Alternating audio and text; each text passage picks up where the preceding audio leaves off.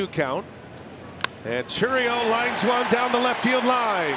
Extra bases. Chourio on his way to second. The ball is bobbled in left. Now he's on his way to third. Throw comes in. Belly flop in there.